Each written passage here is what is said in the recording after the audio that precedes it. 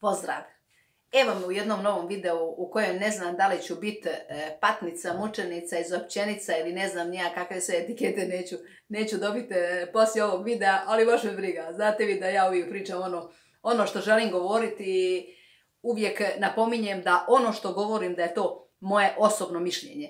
Znači, ako komentirate ispod mog YouTube kanala, a uljudni ste, ne pišete one nekakve vulgarne izraze, vulgarne izraze brišem jer mo, mislim ono, to je moj YouTube kanal, e, moram ga držati e, da nije zagađen od tih nekakvih vulgarnih izraza, ali osobna mišljenja, mišljenja koja su kulturno napisana nikad ne brišem, ne smeta mi ništa što ljudi, ne smetaju mi mišljenja ljudi kad mi kažu da mi ne valja frizura, da mi je, da mi je, ne znam ja, da imam bore, da što ja ovo ili ono, svatko ima pravo misli što želi, ali ja jednostavno, smeta mi kad mi netko kaže e, ne, zašto to pričaš, pričaj ovo. Ovo je ipak moj YouTube kanal i ja ovdje pričam ono što ja želim pričati. Jednostavno govorim ono što ja želim govoriti. A svi koji mislite da trebate, ne, da se treba nešto drugo pričati, napravite si YouTube kanal i govorite ono što vi želite govoriti. I jednostavno sam, jednostavno polazim od toga da Znači, moji govori su moje osobno mišljenje i odgovaram za svaku moju izgovorenu riječ, jer ipak je ovo javni prostor, bez obzira što mi je televizija ili film. Danas ću pričat o tome zašto, e, kako, e, kako prepoznat prevaru. E, ja, sam, ja sam u ja nisam nekakva velika sretnica u ljubavi, ali ja sam jednostavno sretna žena jer imam to jako, jako izraženo šesto čulo. Mene, mene je teško varat. Mene je teško varat. Jer ja, ja, ja prevaru ne da, ne da, da osjetim, ja prevaru namirišim. Zašto? Zato što ja za ljude koji se, za, za onoga za koga e, skontam, kako bi mi u rekli, da se ne vrijedi boriti, moja borba prestaje. I uopće, sad ne znam, možda ćete, evo, puno žena će mi reći da možda nisam u pravu, ali onog trenutka kad osjetim da je moje muško zainteresirano za, za neko, neko, neko drugo žensko, tog trenutka u meni se stvara zid. U meni se stvara zid, u meni se stvara, diže se ona brana na mostu i više mi ne možeš prići. Ja se ne želim boriti. Prosto, e, zašto se ne želim boriti? Zato što se ja ne želim boriti protiv ljubavi. Jer ja, ja neću priznat da ljudi, da ljudi varaju iz hira. Iz hira, jednostavno, eto tako sad, žena mu je kod kuće ostala ili, ili muškarac je ostao kod kuće i sad joj neko naletio od nekud, e, ne znam nija, na brzinu ono, svidjeli su se jedno drugom i oni su otišli u krevet. Da je muškarac išao samo tako prevrnut neku ženu tamo, kad moram koristiti takav nekakav izraz, e, zato eto da se malo zabavi i vraća se svojoj kući kao da se nije ništa dogodilo. Ja u to ne vjerujem. E, milijun stvari ima takvi koje su istinite, ali to nije, to moja vjera, ja u to ne vjerujem, apsolutno ne vjerujem. Znači, tog trenutka kad poželiš neko drugo žensko, ti si mene izbacio iz sebe. Izbacio si me iz sebe, zamijenio se s nekim drugim ja mogu, mogu e, od, od, takvog nekakvog e, e, svog muškarca očekujem da mi to kaže. To je najmanje što možeš očekivati od, bilo, od, od onoga s kim si proveo neke godine, da ti to iskreno kaže. Iskreno kaže. I to je ono što svaka normalna žena treba očekivati. Nema, kaže, proći će ga. Ne znam što će ga proći, što će ti takvo muško kojega će proći. Sutra ćemo, e, danas će, danas će spas nekom drugom, sutra s nekom opet drugom i svaki put će njega to proći. A dok sve to njega prođe, tebe će proći život. Znači, ne vjerujem, kako ne vjerujem u bojstvo i oprost grijeha, tako ja ne vjerujem da ljudi e, u mom fokusu zanimanja, sad ne znam kako bi vam to objasnila da razumijete, u mom fokusu zanimanja ne mogu biti ljudi koji e, odu tamo negdje u kurvanje i kaže i proći će ga to. Ne ga prođe, ali bez mene. Kad ga to prođe, nek ide dalje. Eto, to je, moje, to je nekako moje razmišljanje. E, zašto ljudi, postoje dvije ljudi koji, koji e, dvoje, dvije vrste ljudi koji varaju, koji varaju žene. Postoje ljudi koji, koji e, ja kad ovako u, u nekakvom, e, nešto je ta glava Srbije, u, kad bi računala u nekakvom postotku, bar 70% naših ljudi, onih ljudi koje ja poznajem, 50, 70% brakova, živi na silu. Živi na silu. Uopće se u tom braku ne vole. Oni žive iz tog razloga što imaju tog trenutka ili dvije plaće ili dvije mirovine. Cijeli život su proveli zajedno. Odavno se već ne vole, odavno već jedno drugom idu na živce, ali iz te nekakve interesne sfere ostaju zajedno. Što je za mene, e, za mene to ravno samoubojstvu. Ravno samoubojstvu. Meni su riječi u životu, riječi. Ja, ja samo riječi pamtim. Meni kad dolaziš, pamtim šta mi kažeš. I kad odlaziš, pamtim šta mi kažeš. I od ovoga kad si došao, što si mi rekao, ovisi koliko ćeš biti sa mnom, i od onoga, on, kad odlaziš, što si rekao, ovisi da se ikada više možeš vratiti sa mnom i na kavu. Ja sam takva žena. Takva sam žena, jednostavno sam takva osoba. Zašto ja stalno govorim da volim Ševana Šaulića i njegove pjesme? Volim njegov glas, odmara me. Odmara me. I volim riječi pjesama koje on pisao, jer njegove, on ih je sam napisao. Njegove pjesme odišu ljubavlju. Njegove pjesme, pjesme su, nisu niti erotične, niti, niti nabijene nekakvom seks, nekakvim, ne znam ja, nabojem seksualnim. Njegove pjesme su čista ljubav. A ja cijeli moj život glasam za ljubav.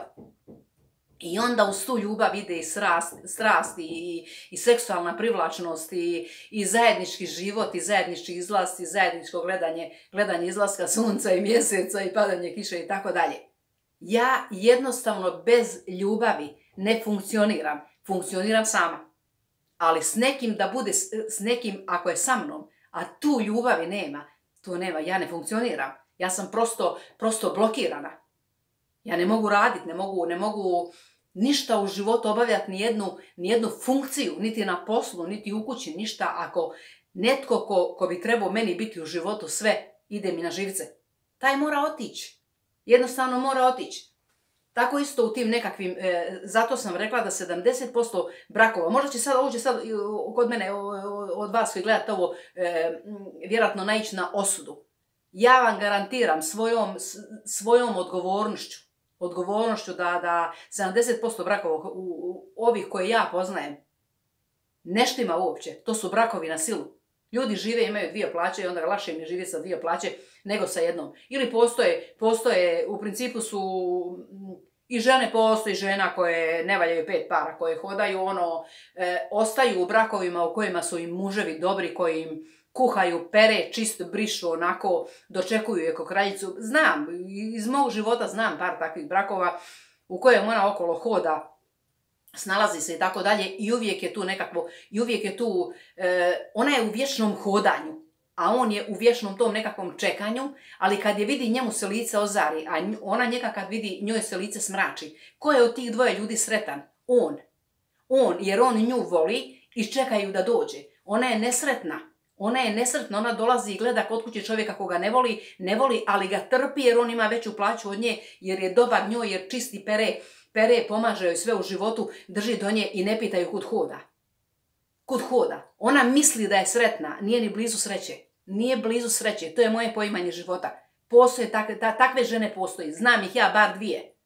Iz svog života koje znam.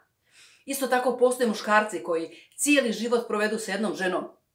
A od, od prve godine braka je varaju, hodaju okolo i ta žena to zna. I ta žena to trpi. I kad ga upitaš zašto to radi, on kaže zato što zato što je, e, e, e, postoje muškarci koji ne žele izaći iz, iz komfora svog života. Ne žele. Oni imaju tako nekakvu slobodu, hodaju okolo, prevrću gdje koga stignu, gdje koga stignu i oni su vjerojatno operirani ljubavi kad mogu takve stvari raditi. Ali dolaze u taj komfor u kojem je čeka jedna poslušna ženica koja ih ništa ne pita, gdje uvijek imaju sve ispeglano, oprano, očišćeno i eto tako ako je poklone jednom tjedno u krevetu nekakav seks, to je za nju ono, ona misli da to tako treba biti. Nemojte se ništa čuditi, postoje takve žene i ljudi. Postoje, točno postoje. Ne mogu ja sad ići govoriti imena i prezimena ljudi, niti bi bilo u redu, niti bi ja to htjela ikad u životu, ali vjerujte mi da postoje. To je nešto što ja osuđujem, što ja ne mogu, to je nešto što ja ne žvaćem, apsolutno ne žvaćem. Moje, e, moje muško. Ja sam rekla zašto, zašto e, ovoliko godina funkcioniram sama. Ja sam, e, ne znam, ja dvije godine nakon rastave braka otišla, otišla za Austriju, imala sam 20 eura u džepu posuđenih. 20 eura u džepu posuđenih. A izašla sam iz braka u kojem sam imala popriličan komfort. I nisam u životu propala, nisam umrla od gladi, nisam, nisam e, izgubila ništa, ništa osobito e, jednostavno sam krenula glavom kroz zid i prošla kroz taj zid. I dan danas više volim taj prolazak glavom kroz zid nego da sam ostala u takvom braku u kojem, u kojem sam bila totalno nesretna. Totalno nesretna. I ja i on, i ne znam, nijako drugi. Moje muško, moje muško koje bi sa mnom bilo, mo, e, e, šta ja u životu tražim, što ja u životu tražim. Meni je sve to ok, kad, ljudi, kad su ljudi imućni, kad ljudi imaju novaca. Uz novac, ja jako volim novac, uz, volim i osobito volim e, novac koji ja mogu zaraditi. Strašno volim novac koji sam ja zaradila. Ja nisam tip, e, parazitski tip žene koji, koja želi živjeti na, na, na nekakvoj tuđoj grbači, ali ne bi imala ništa protiv da zarađujem ja i on da živimo na nekakvoj visokoj nozi. Zašto ne? Sve je ugodnije lakše kad čovjek ima puno novaca. Ali, ali e, jednostavno kad se stavlja novac u fokus ili ljubav, za mene je ljubav tu onako, onako, na, na visokom stupnju. Znači, novac se u odnosu na ljubav ne može apsolutno mjeriti. E, moj muškarac, ja mom muškarcu moram biti u fokusu zanimanja. A imam takvo, e, ja ne znam, ja mislim da to sve žene posjeduju, samo što ne znaju to u sebi otkriti. A ja to znam. Ja imam takvo izraženo to žensko šesto čulo. Mene je nemoguće vart. Mene je nemoguće vart. Ja to osjetim. Večeras, večeras, muško koje sa mnom živi, večeras da ode s nekom drugom ženom, sutra ću osjetiti da me prevario. Sutra. Sutra. Ne treba meni pet dana, ni, ne treba mi nikakva pratnja. Ne treba mi nitko da mi dođe i kaže on ti je tamo bio sa nekim. Osjetit ću to. To svaka normalna i pametna žena osjeti. Tako isto i muškarac. Ako ne osjetiš da te netko vara, onda ne poznaješ onoga s kim spavaš i s kim živiš. A to nije, nije pametno. To nije uopće pametno. Ja sam znala, e, e, meni nikad ne bi smetalo da moj moje muško koje sa mnom živi da sretne moju prijateljicu, ode s njom na kavu. Ode s njom na kavu. E, ne znam, ne, dođe mi kaže da je bio s njom na kavi. Ništa mi ne bi smetalo. Zašto? Zato što ja moje muško ne trebam pratiti da bi znala da me vara. Ja se ne zamajavam. Meni, ja nemam, nemam te, te nekakve, nekakve e, iluzije da, e, znaš, ali možda to nije to. Ja točno znam kad i što. Možete se vi sad čuditi i reći kako se ja sad ne znam, hvalim nešto, nekakve svoje sposobnosti, ali ja sam jednostavno takva žena i zato sam tako dugo sama.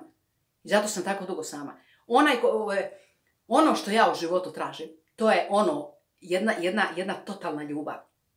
I totalna iskrenost. I totalna iskrenost. Znači, moram biti u fokusu tvoga zanimanja.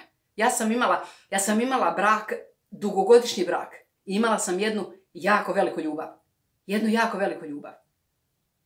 I jedno i drugo nije uspjelo. Ovo prvo, ovo prvo je predugo trajalo koliko smo bili različiti. A ovo drugo je bilo e, nešto što ja vješno nosim u svom srcu, ali je u nekakvim daljim, u daljim koracima je bilo pametnije da se udaljimo jedno od drugoga i da se volimo na daljinu.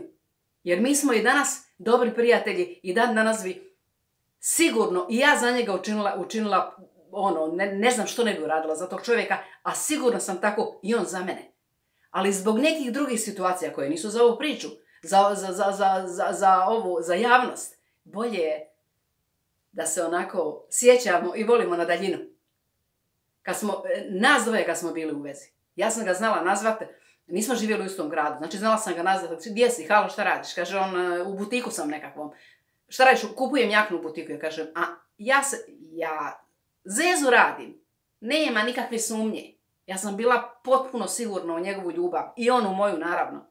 Ja sam, e, ja kažem, aha, u butiku si. Ja kažem, e, probavaš jaknu, jel ti pomaže ta prodavačica, je li zgodna? On kaže, nemam pojma, jer nije moja. To su te riječi koje ja pamtim. Kaže, nemam pojma, jer nije moja. Ne gledam ju. Naravno da ju gleda. Ako je zgodna, nije, nije brentav da neće pogledati nekakvu ženu koja je zgodna. Ali on kaže, ne gledam ju, jer nije moja. A kad se sretnemo i kad ga primim za ruku, i kad e, šetamo, i kad se volimo, i kad sve, to se osjeća da li je u međuvremenu bio netko komu je, komu je nešto značio. Ono, kad, te, kad, kad, kad želi sastanak s tobom, kad e, želi provoditi vrijeme s tobom, kad stavlja sve drugo u stranu, u toj vezi ja sam bila cijelo vrijeme u najvećem fokusu njegovog zanimanja. Ja sam bila, ja sam bila ta koja je bila u fokusu njegovog zanimanja i on u fokusu mog zanimanja. Nije bilo uopće u pitanju da li ću pogledat bilo koga drugoga. Jer nikad nisam pogledala. I takva ljubav i takve riječi u mene žive. U mene žive. Ja jednostavno mogu, ja sam osoba koja ima šest čulo koju ne možeš varati. Ja sam osoba koja može živjeti od sjećanja. Ja mogu živjeti od sjećanja. Ja ne želim čak ni dobro sjećanje pokvariti. I zato mene, e, zato mene kukavice. Meni je e, provedeno vrijeme s, s nekim koji je bio kukavica. Meni je to poraz. Meni je to moj poraz i ne želim se sjećati toga. Ne postoji ništa ljepše na svijetu.